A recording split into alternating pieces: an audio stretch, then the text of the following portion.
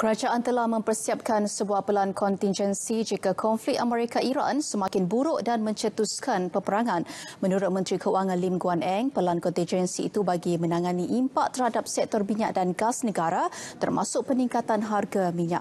Buat masa ini katanya ekonomi negara masih mampu bertahan dan diuruskan dengan baik. Jelasnya masih terlalu awal untuk menjangkakan kesan yang akan dicetuskan oleh konflik kedua-dua negara itu namun beliau berharap ia tidak akan berlarutan sehingga mencetuskan perang.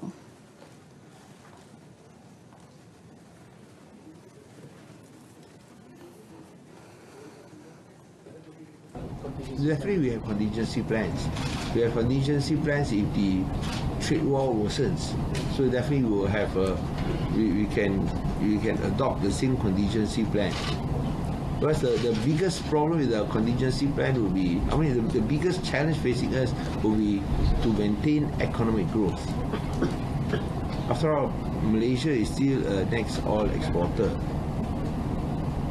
So if you look at the impact on oil price hike, you'll be on economic growth. So we want to maintain economic growth. Kenaikan harga minyak ketika ini turut memberi manfaat kepada Petronas. Bagi setiap kenaikan harga minyak sebanyak 1 dolar Amerika, katanya Petronas akan memperoleh keuntungan berjumlah 300 juta ringgit. Kerajaan pula bersedia membayar subsidi petrol lebih tinggi menerusi peruntukan sebanyak 7 bilion ringgit di bawah belanjawan tahun ini.